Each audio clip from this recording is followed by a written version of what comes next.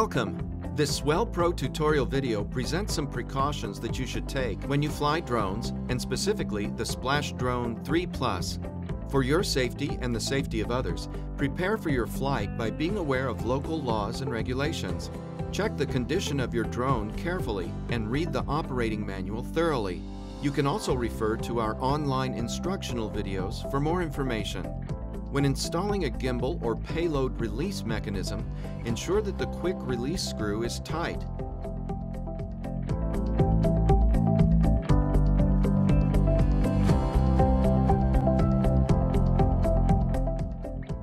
And take care to align the waterproof plug before inserting the plug and tightening the retaining ring.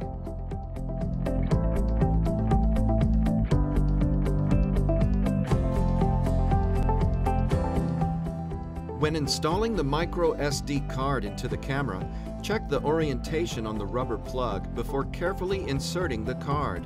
The waterproof plug must be pressed firmly into place until it is flush with the camera body. Check that your propellers are in good condition. They should be smooth and free from damage. When installing propellers, check that the propeller type matches the hub. Support the aircraft arm with one hand as you install each propeller to avoid damaging the landing gear.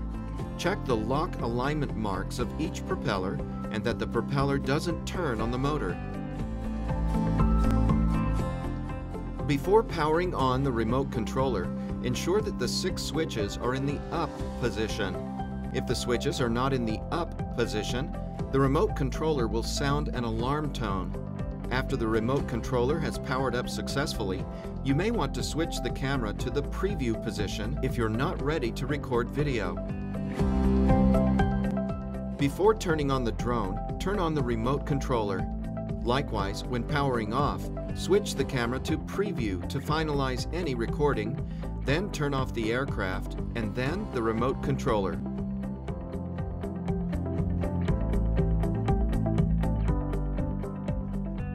After connecting the power cable of the aircraft, always tuck the power cable behind the battery to prevent interference with the accuracy of the GPS.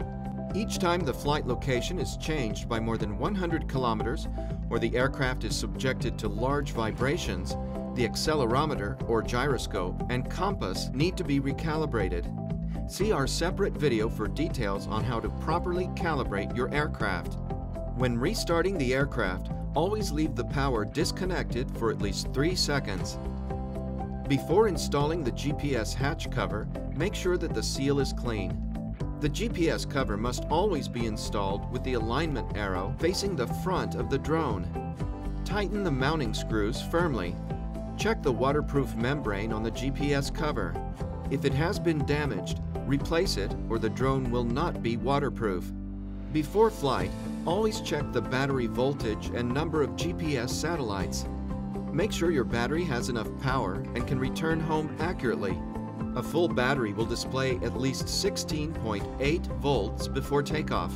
A minimum of 10 satellites is required for GPS flight mode and the return home function. When using the return home function, it may be necessary to take over control of the aircraft in some situations. For example, when the aircraft returns and the return altitude is lower than an obstacle or the ground is uneven when landing. Switch back to normal flight control and the aircraft will stop landing and you can take manual control. If the aircraft is returning home automatically due to loss of the control signal, but the return home switch is still in the normal position, Flick the return home switch between return home and normal to regain manual control of the drone and cancel the automatic return home. With at least 10 GPS satellites of coverage, switching from ATTI or Smart Cruise will make the aircraft come to a rapid stop and hover. When flying with Smooth Plus controls, GPS mode is recommended. In an emergency, switch the Smooth Plus switches to normal to make the aircraft hover. The SplashDrone 3 Plus can fly in winds up to 16 knots, with gusts up to 27 knots. However, the wind speed at altitude is often much higher than on ground level.